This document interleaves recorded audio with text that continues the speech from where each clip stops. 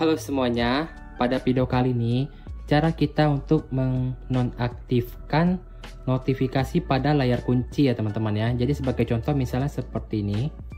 Nah ini kan layar kita terkunci ya. Nah nanti kan di sini ada notifikasi kalau misalnya ada masuk kita bakalan melihat di bagian sini ya teman-teman ya.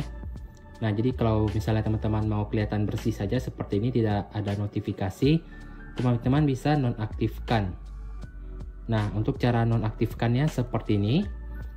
Di sini silahkan teman-teman buka pengaturan pada HP Samsung yang teman-teman gunakan.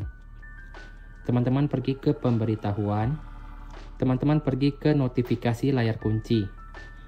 Di sini kan masih aktif. Jadi apabila kita nonaktifkan, notifikasi tetap masuk tetapi kita tidak bisa melihatnya ya teman-teman ya. Maka tampilan kita pasti selalu bersih seperti ini.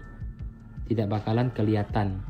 Nah, tapi kalau misalnya teman-teman mau kelihatan, ini wajib teman-teman aktifkan kembali. Nah, jadi seperti itu ya teman-teman ya. Jadi semoga teman-teman uh, paham ya.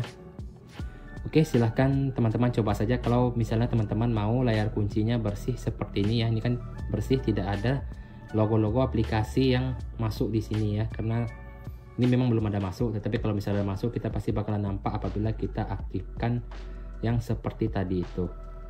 Silahkan teman-teman coba